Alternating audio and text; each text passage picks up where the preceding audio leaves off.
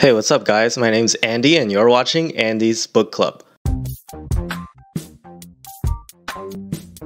So, in case you've been living under a rock lately, you know what's going on out there in the world with the whole outbreak and stuff. So, if you're wondering why the set looks a little different today, that's why because I'm in self isolation and I can't get into the usual classroom that I usually film in. But you know what? The show must go on. So today we're moving right along with chapter two of The Tipping Point. So we're continuing to discuss things like epidemics and diseases and the spreading of ideas, which is oddly ironic with today's situation. Without further ado, let's move along. So chapter two begins with Paul Revere's Midnight Ride. So some of you might be familiar with this particular part of history. So Paul Revere, he was a famous famous uh, American person who uh, warned of an impending British invasion uh, during the American War for Independence. Well, Paul Revere is very uh, revered in American history because of his contributions, because uh, of his midnight ride. He warned a lot of people who otherwise would have been asleep uh, in the middle of the night. And as a result, the Americans were ready to uh, defend themselves from the British when the British army came the next day. So Paul Revere is credited with warning a lot of people uh, and saving a lot of lives potentially, and uh, maybe even changing the course of history entirely. So, what you might not know is that uh, before Paul Revere's Midnight Ride, there's also another person that uh, did a similar sort of midnight ride, and his name was William Daw. So William Daw did sort of the same idea. He also knew about the impending British invasion, uh, and then he tried to warn a lot of people, uh, and also it was at night as well. Uh, but his midnight ride was not nearly as successful as Paul Revere, and there's a reason why we remember Paul Revere but not William Daw. Now, before we go back to answer the question as to what exactly the difference between Paul Revere and William Daw is, uh, let me quickly explain the idea of the six degrees of separation. So, some of you might be familiar with the six degrees of separation. So, it's the idea that um, a lot of people, almost everyone in the world, in fact, uh, is connected through six people. So, for example, uh, I know somebody that knows somebody that knows somebody, uh, do that six times, uh, that knows, let's say, the Pope or the president of Russia or uh, just anyone, right? So, anyone in the world uh, is separated by six degrees at most. So some sometimes you might be separated by less, right? So if you live in let's say the same country as someone, uh, then even if it's a celebrity or someone famous, you might be connected by less than six degrees. But six degrees is the maximum uh, out of uh, pretty much everyone. So we're all connected through like a gigantic network. And a lot of you might be familiar with this idea or you've heard uh, of it somewhere before. So there was this experiment done where these participants were asked to send letters to this investment banker that was based in, I believe, Boston. So the participants were asked to send a letter to someone that they didn't know. And what ended up happening is that they would just give it to someone who they think would get the letter closer to that person. So they didn't know who this investment banker is, but let's say they know someone who works in finance, right? So if they have a friend in finance, they'll give it to that person in finance, and maybe you know someone, right? So then they give it to that person, and that person will send it to another person. In the end, some of the letters actually made it to uh, the person uh, in Boston. So what they found out was that half of the letters that eventually arrived at the person's house came from just three people. So that means not that not all of the degrees were equal, right? So the majority of the letters came from just a few people. And if you think not just about sending letters, but about life in general, so you would notice that probably out of your friends group, a lot of your friends that you have now, you met through one or two people.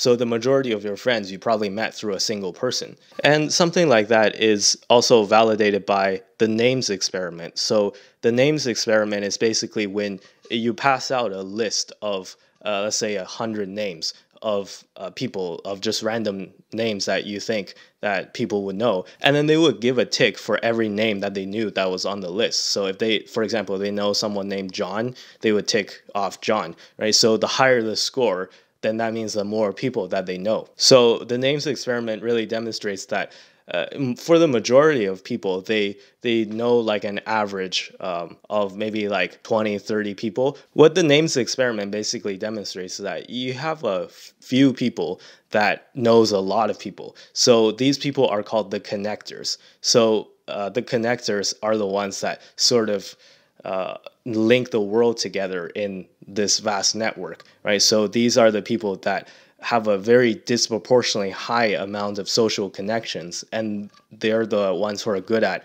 getting messages or getting uh, information passed over to uh, more people. Uh, so examples of super social people that are connectors, uh, the author brings up people like Roger Horchow and Lois Weisberg. An interesting thing about Horchow, which the author interviewed, is that Horchow would keep a list of all the people that he met and information about them and things like when their birthday was. And then when their birthday came, he would make sure to send a personalized card to them and then in the mail and then uh, that would make people feel really good right so then they would receive like a personalized happy birthday message and he would just have this whole book of when people's birthdays was and when he should send these cards. So uh, these are the people that really value social connection and take social connection to the next level. So uh, these are the people that don't really do well in situations like this when we have to socially isolate. That's uh, uh, I guess another relevant thing that we can talk about today. And another point that the author makes that's important to note is that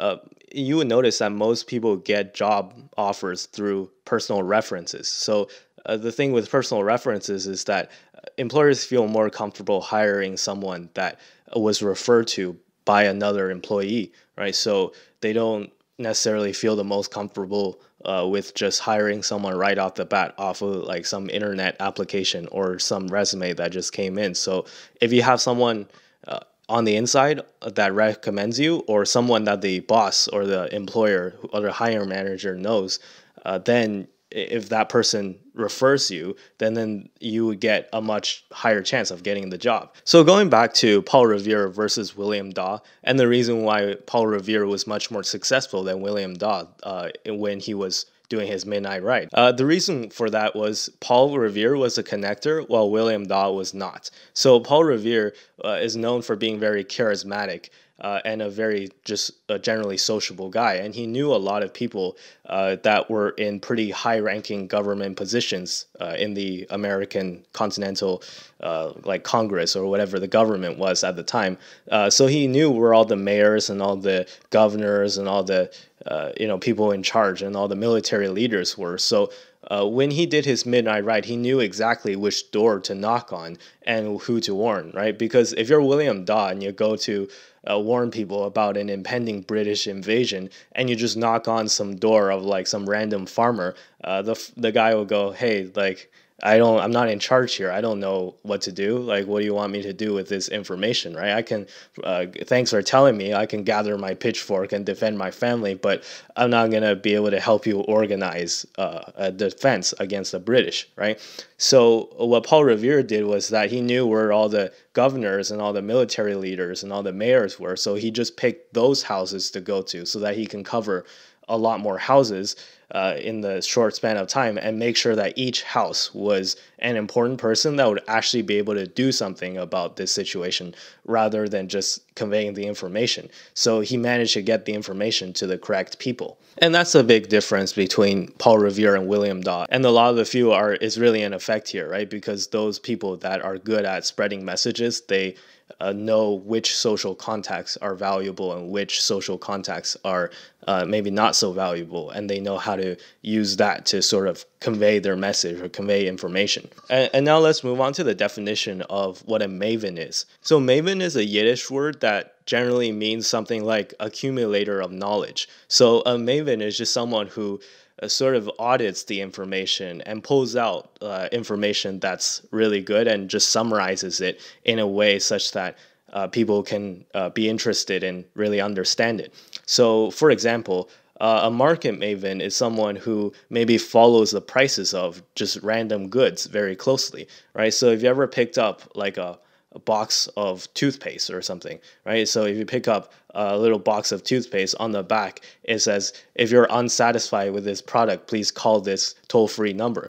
Now, you might be thinking, like, who in the right mind would call into like a toll free number for a random box of toothpaste and tell them what their product is, whether their product is good or not. Well, you know, you'd be surprised. Some people actually do, right? So for the people that actually do, they're probably the market mavens because they they really care about these things, right? So they care about uh, you know whether or not people are getting the best deals or people are getting ripped off or not. So another example is that uh, sometimes grocery stores will try to pull a quick one on you and they'll uh, raise the price of something suddenly and then drop it back down to its regular level and call the regular level uh, sale price because technically they did raise the price and then they dropped it back down. So technically it is a sale, but not really because the price was never that, it shouldn't have been that high to begin with, right? So sometimes they'll pull these little tricks on you and market mavens would notice, right? So if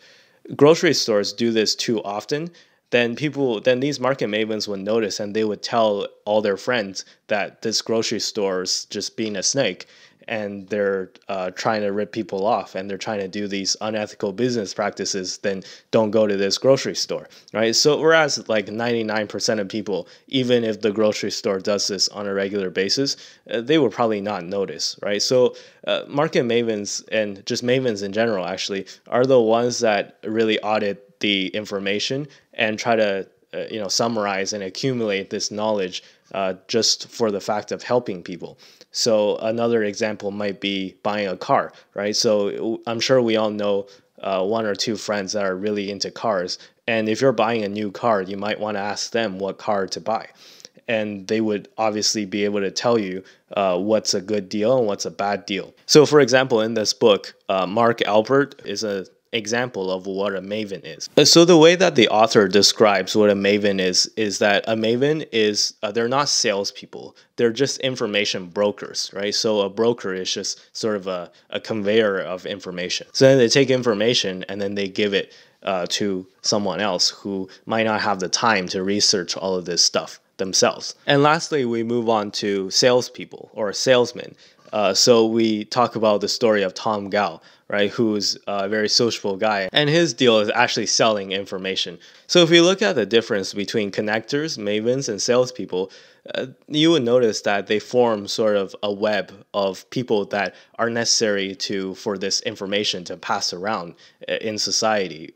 Uh, and these people might be few and far in between. So that's why uh, this chapter is called The Law of the Few. And we'll see later in this book uh, how connectors, mavens, and salespeople sort of work together to help an idea spread and help establish a tipping point. So I think that's it for the synopsis for this week. Uh, and yeah, we'll pick up with chapter three next week. So I'll see you guys next week. And again, stay safe out there. Make sure you wash your hands. Use hand sanitizer if you have any. Uh, make sure you give this video a like if you enjoyed the video. And consider subscribing if you like the series. With that being said, bye bye.